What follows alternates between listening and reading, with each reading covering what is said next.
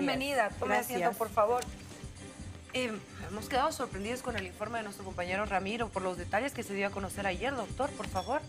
Sí, bueno, mire, eh, la Fiscalía General del Estado autorizó y dio una orden a, las- a la Comisión de Fiscales para que nos permitan realizar las pericias dentro del cuerpo encontrado en los yungas y cumplir con el ADN.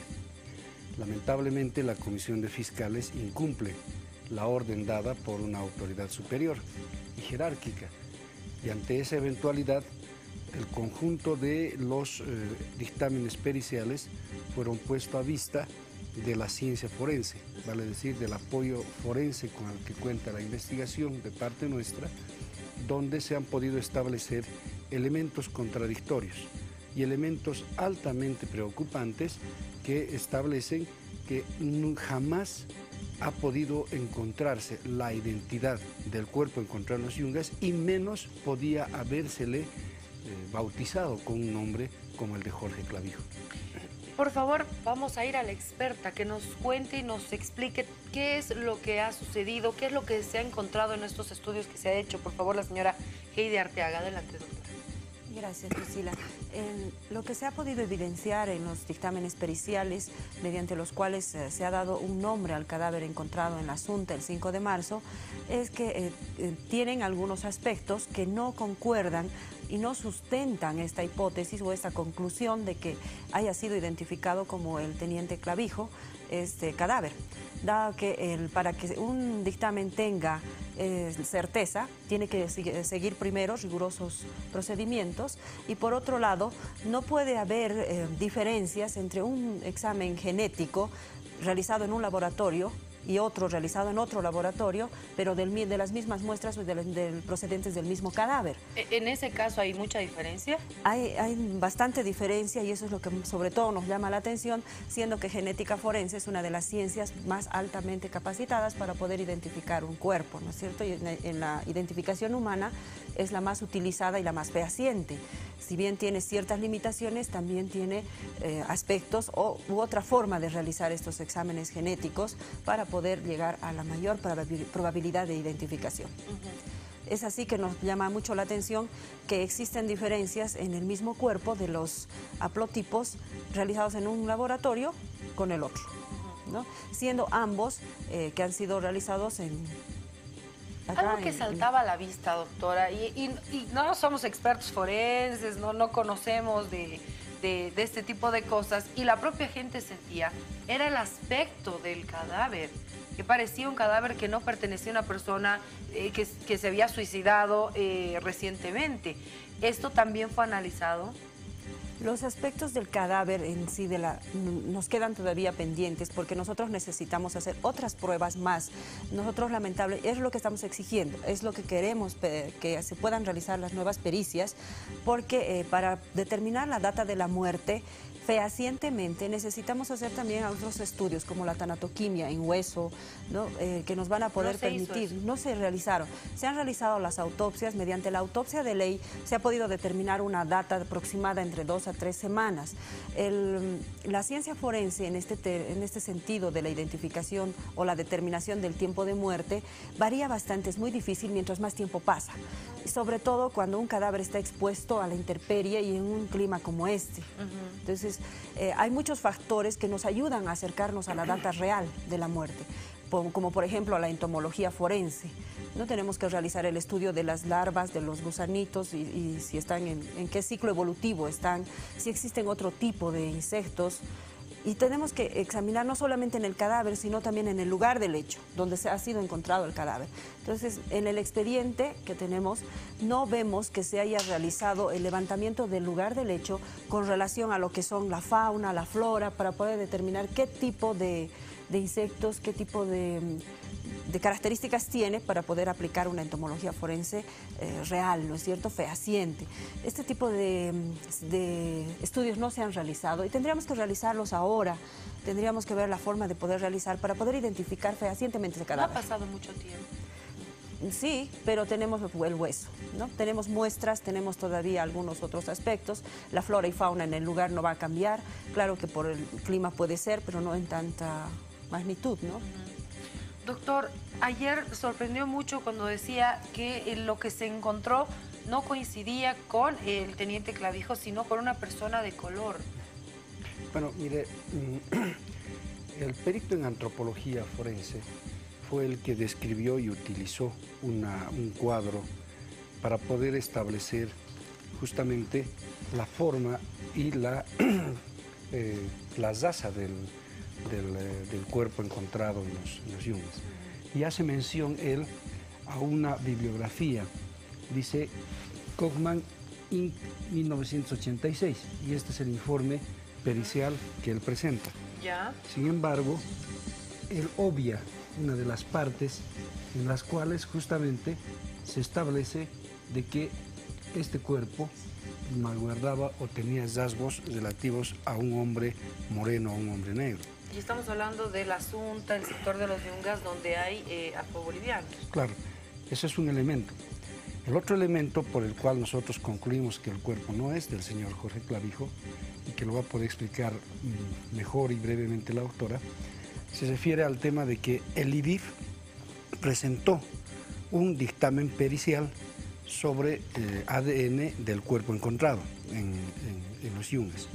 El ITCUP también presenta un informe, un dictamen, que es de conocimiento público, que lo presentan las autoridades, pero que en todo caso, como esta es una suma y es aritmética, eh, no podían tener, no podían diferir porque ya sea que sea el IDIF o el IDCUP, los resultados tenían que ser similares. Si era otra, en otro laboratorio de Santa Cruz, Cochabamba, de China, Estados Unidos, tenían que ser igual todos los numeritos que se tienen o que los denominan los forenses alotipos. A ver, doctora, por favor, si usted nos puede explicar para que podamos entender en sencillo, por favor, para que todos en casa podamos entender. Claro que sí, Priscila. Podemos ver en la, en la pantalla, ¿no? Enseguida lo vamos a poner. Ahí, tenemos, podemos ver dos cuadros, los cuadros que se han presentado en la conferencia. Tenemos el cuadro, este cuadro, que es proveniente del, del, dictamen pericial emitido por el Instituto de Investigaciones Forenses. Este otro cuadro que se encuentra, el azul, que se encuentra en el dictamen pericial emitido por ITCUP, también genética forense. Ambos han sido, están insertos en el cuaderno de investigación. Si bien es azul el siguiente, tengo que aclarar esto, ha sido presentado en la conferencia de prensa cuando se había confirmado que el cuerpo pertenecía al teniente Clavijo. Eh, es por eso que tiene este color, tal cual se lo ha extraído. Y lo que quiero mostrarles acá es todos los cuadritos que estamos viendo en colores coinciden con el otro cuadrito, ¿no es cierto? También con los mismos colores. Aquí tenemos los marcadores que vendrían a ser marcadores del ADN. Estos marcadores tienen haplotipos y estos son sus haplotipos. Estas codificaciones, estos números son sus haplotipos.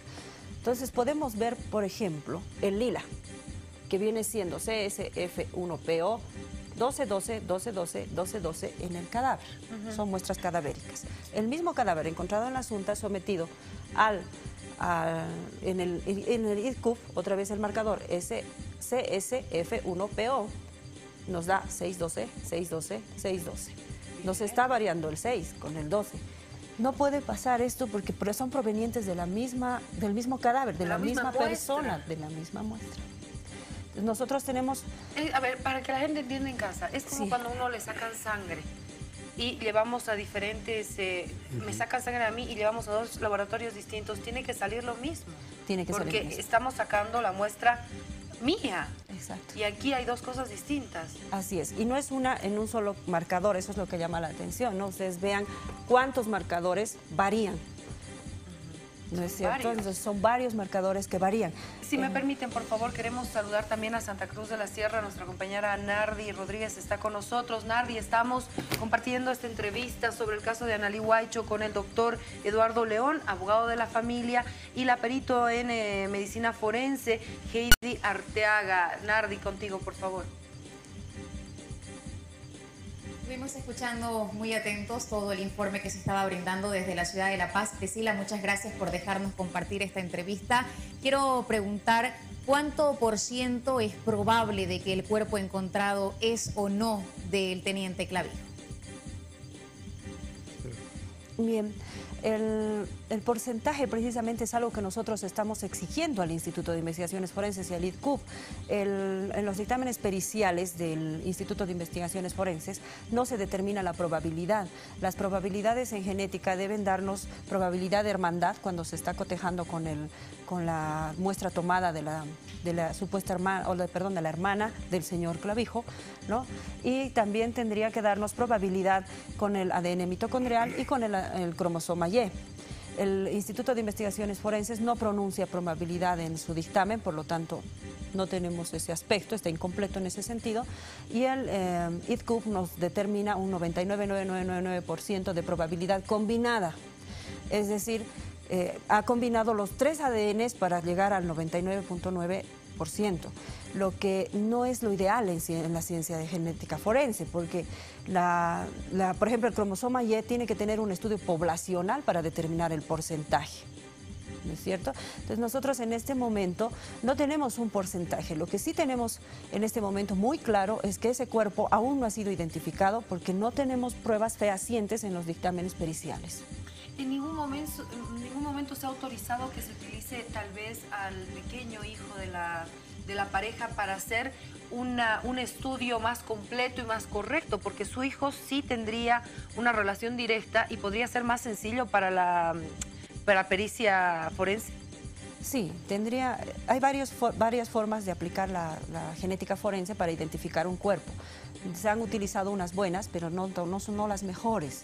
Además, también esto va a variar bastante con las muestras que estamos usando para trabajar el ADN hemos visto un cadáver altamente em, en una etapa muy avanzada de descomposición. Entonces, eh, no podemos trabajar, no consideramos que sea adecuado trabajar con piel, ¿no es cierto? O trabajar con músculo, aún se estén extrayendo de zonas que aparentemente están sanas, aparentemente no han llegado a un alto grado de descomposición, porque no, van a ser fehacientes. Además, en muestras cadavéricas lo ideal es trabajar en hueso, ¿no es cierto? Y en ninguno de los laboratorios se ha trabajado en hueso. Nardi. Un afroboliviano, según el informe que tenemos nosotros en Santa Cruz de la Sierra, se trataría el cadáver encontrado en la Junta. ¿Se corrobora esta información y si es así, cuál es la documentación que hace creer que la persona encontrada en este lugar no es el teniente Jorge Clavijo y sí una persona de raza negra?